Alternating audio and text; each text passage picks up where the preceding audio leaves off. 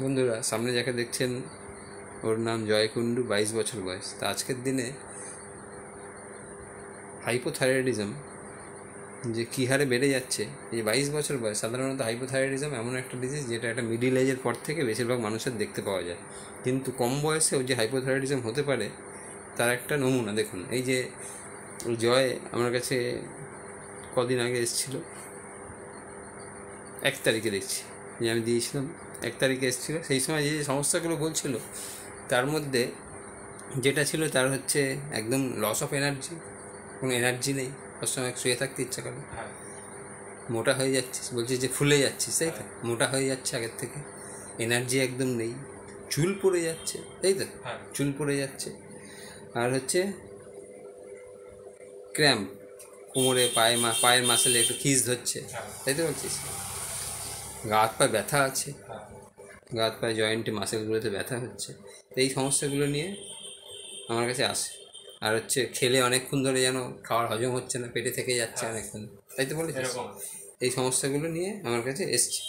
তাহলে দেখুন আপনার যদি প্র্যাকটিস অফ মেডিসিনে জ্ঞান থাকে একজন পেশেন্ট এসছে তার বয়স যাই হোক না কেন তার যখন এই সিমটমগুলো বলছে patient is become obese hair fall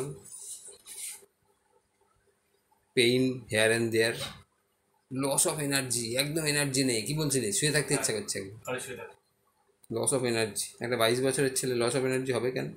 হওয়ার কথা না। আর ক্র্যাম্প হচ্ছে।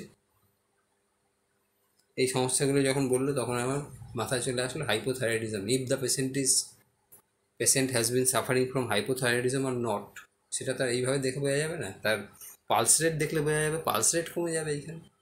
হাইপোথাইরয়েডিজমের ক্ষেত্রে পালস রেট কমে যায়।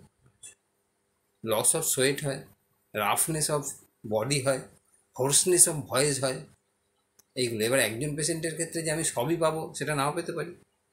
যদি মহিলা হয়, তাদের ক্ষেত্রে পিরিয়ডের গন্ডল হয়, গন্ডগোল হয়। তাহলে একজন পেশেন্টের ক্ষেত্রে আমি সব না পেতে পারি, কিন্তু আমাকে দেখতে হবে আমি পেশেন্টের থেকে কী কী পাচ্ছি, এবং সেইগুলো কি সেই রোগের সঙ্গে বিলংস করে কি না তাহলে আমি যা যা যা সিমটমগুলোর থেকে পেয়েছি, আমার পেয়েই মনে পড়ে গেছে যে patient may be the patient of hypothyroidism আমার সঙ্গে আমি তাকে পরীক্ষা করতে দিয়েছি। এই যে, পরীক্ষা করতে দিয়েছি, এই জয় কুণ্ডু এই এক তারিখে দিয়েছি। Estimation for T three T four TSH এক তারিখে। তো যাই হোক যথারীতি এর মধ্যে পুজো টুজো গেল। যথারীতি পরীক্ষা করে নিয়ে এসছে। এই যে, পরীক্ষা করে নিয়ে এসছে। এই যে পরীক্ষায় দেখা যাচ্ছে যে TSH ten point one four যেটা থাকার কথা within four point seven eight এছাড়া T three T four T three দেখুন কমে এসছে, এই যে T three point seven eight T three T four মোটামুটি ঠিক আছে। তাহলে টিএসএইচ তখনই বাড়বে যখন আমাদের হাইপোথাইরয়েডিজম হবে। তো কেন বাড়বে? সাধারণত থাইরয়েডের থাইরয়েড গ্ল্যান্ডের যে মেইন সেক্রেশন সেটা হচ্ছে T three and T four T three হচ্ছে triiodothyronine and T four হচ্ছে থাইরক্সিন। এই দুটো হচ্ছে থাইরয়েড গ্ল্যান্ডের মেন সিক্রেশন এই হরমোন দুটো সিক্রেশন হয়। আর যে টিএসএইচ হচ্ছে, এটা কিন্তু অ্যান্টেরিয়র পিটুইটারি থেকে সিক্রেশন হয়। তাহলে যখন আমাদের থাইরয়েড গ্ল্যান্ডটা নর্মাল কাজ করে, তখন কিন্তু টিএসএইচের সিক্রেশনও নর্মাল থাকবে। টিএসএইচের কাজ কি? টিএসএইচের কাজ হচ্ছে আমাদের থাইরয়েড গ্ল্যান্ডকে স্টিমুলেশন করা। TSH thyroid stimulating hormone it stimulates our thyroid gland when it stimulates when our thyroid gland is not working properly যখন আমাদের থাইরয়েড গ্ল্যান্ড প্রপারলি ওয়ার্ক করছে না, কাজ করছে না, তাহলে যখন দেখবে যে থাইরয়েড গ্ল্যান্ড প্রপারলি কাজ করছে টি থ্রি টি ফোর ঠিক আছে নর্মাল আছে, তখন টিএসএইচ নর্মাল থাকবে কিন্তু যখনই কাজ করবে না, কাজ করবে না মানে থাইরয়েড গ্ল্যান্ড দুরকম কাজ হতে পারে। থাইরয়েড গ্ল্যান্ড কম কাজ করছে। কম কাজ করলে তাহলে সেটাকে বলা হবে যে হাইপোথাইরয়েডিজম মানে কম কাজ করছে। আর থাইরয়েড গ্ল্যান্ড এরমও হতে পারে যে বেশি কাজ করছে। যেটুকু কাজ করার কথা, তার থেকে বেশি কাজ করছে। That is hyper thyroidism hyper মানে বেশি হাইপো মানে কম। তাহলে যখন হাইপো থাইরয়েডিজম হবে when our thyroid gland is working lesser then it is called hypothyroidism আর যখনই হাইপোথাইরয়েডিজম হবে, তখন আমাদের টিএসএইচ এর কাজ হচ্ছে থাইরয়েড স্টিমুলেটিং হরমোন থাইরয়েডটাকে স্টিমুলেট করার জন্য সে বেশি বেশি পরিমাণে সিক্রেশন হবে। অ্যান্টিরিয়র পিটুইটারি থেকে। সেই জন্য টিএসএইচ এর মাত্রাটা রক্তে বেশি দেখাবে। এখানে তোর যেটা হয়েছে, এই যে যেটা হয়েছে টিএসএইচ মাত্রা বেড়ে গেছে। এইখানে যদি হতো যে টি থ্রি টি থ্রি টি ফোরের মাত্রা বেড়ে গেছে নর্মালের থেকে, তাহলে that is our thyroid gland is working more যেটুকু করার কথা তার থেকে বেশি করছে। তখন টিএসএইচ এর মাত্রা তাহলে কী হতো? কমে যেত। না টিএসএইচ কমে যেত। টিএসএইচ তো স্টিমুলেট করবে। কিন্তু বেশি যদি বাচ্চা পড়াশোনা করছে না বাবা মা খোঁজাচ্ছে যে কিরে পড়াশোনা করছিস না কেন? পড়াশোনা কর। আর যদি বাচ্চা বেশি পরি হ্যাঁ বেশি পরিমাণে পড়াশোনা করে তখন বাবা কি আর সেইভাবে বাবা মা বলবে? তাহলে আর টিএসএইচের কাজ হচ্ছে স্টিমুলেট করা। যখন দেখছে যে থাইরয়েড নিজে থেকেই ইটসেলফ বেশি বেশি কাজ করছে তখন টিএসএইচের মাত্রা কমে যাবে। তখন তার স্যার স্টিমুলেট করবে না বেশি। সেই জন্য কমে যাবে। তো এই গেল হাইপোথাইরয়েড রিজমের দিকটা, তাহলে দেখুন, এখন কম বয়সেও যে হাইপোথাইরয়েডিজম হতে পারে এবং আপনি যদি প্র্যাকটিস অফ মেডিসিনে আপনার যদি প্রপার নলেজ থাকে, তাহলে একজন পেশেন্ট এসে যখন আপনাকে বলবে, তখন কিন্তু আমাদের যেমন মেডিসিন সিলেকশন করতে হয়, আমাদের ডিসিজও ডায়াগনোসিস করতে হয়। তাহলে ডিজিজ ডায়াগনোসিস এই পেশেন্টের ক্ষেত্রে হয়ে গেল। তা আমাদের ক্ষেত্রে কিন্তু ডিজিজ ডায়াগনোসিস করলেই যে আমরা মেডিসিন পেয়ে যাব তা না। যেখানে মডার্ন মেডিসিনে ডিজিজ ডায়াগনোসিস করলেই ওরা মেডিসিন পেয়ে যায়। আমাদের ক্ষেত্রে আবার মেডিসিন সিলেকশান করতে হবে। সেই মেডিসিন সিলেকশানের প্রসিডিওরটা আবার আলাদা। তখন কী করতে হবে? একজন পেশেন্টকে ওভারঅল দেখতে হবে।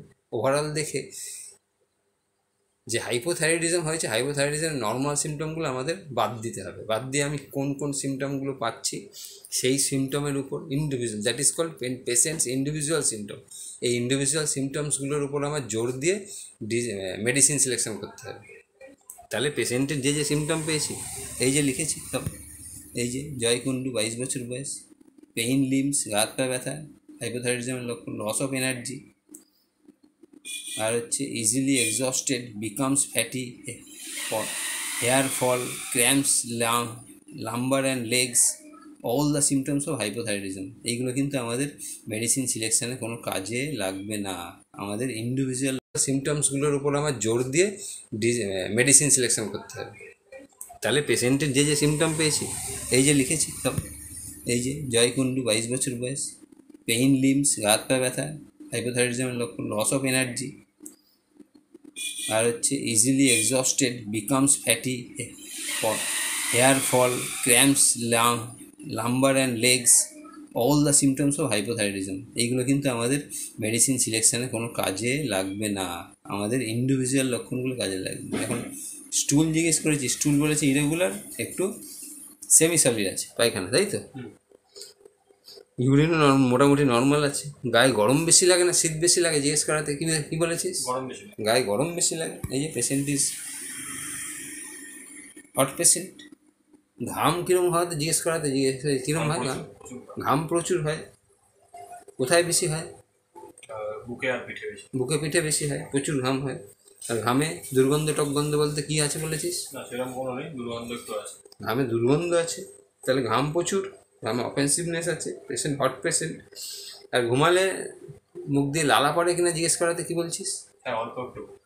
ঘুমালে মুখ দিয়ে লালা পড়ে? আগেও বলেছিল যখন এসছি তাহলে ঘুমালে কিন্তু মুখ দিয়ে লালা পড়ে, এই যে। Saliva during? Sleep tongue moist আছে। খেতে কি ভালো লাগে জিজ্ঞেস করছে, মিষ্টি খেতে খুব ভালো লাগে। তাই তো বলেছিস? প্রথমে তো তাই বলেছে যে মিষ্টি খেতে পছন্দ। এই যে ডিজায়ার সুইট মিষ্টি খেতে পছন্দ।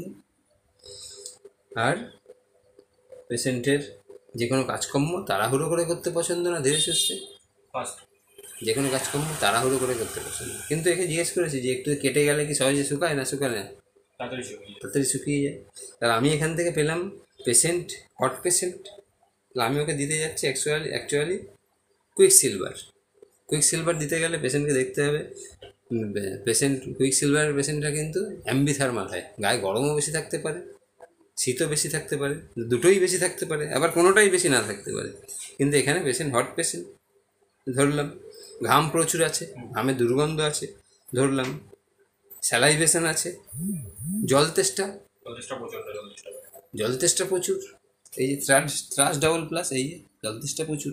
তাহলে আমি পেলাম পেশেন্টের প্রচুর ঘাম, দুর্গন্ধ আছে, স্যালাইভেশন আছে থ্রাস্ট আছে ময়েস্ট টাং আছে।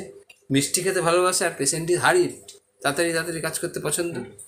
So all the symptoms go in favour of quick silver সেই জন্য আমি দিচ্ছি এই যে মার্শাল জিরো ওয়ান আর দেখাবো যে পেশেন্ট চলতে চলতে, এই ওষুধ চলতে চলতে পেশেন্টের এই যে হাইপোথাইরয়েডিজম হয়েছে থাইরয়েড টেন পয়েন্ট ফোরটিন হয়েছে, একটা নির্দিষ্ট সময় পর আবার যখন পরীক্ষা করাবো, ওষুধ চলতে চলতে নির্দিষ্ট সময় পরীক্ষা করাবো, আর হচ্ছে পেশেন্টের বলতে হবে যে তার সঙ্গে তার এক্সারসাইজ করতে হবে।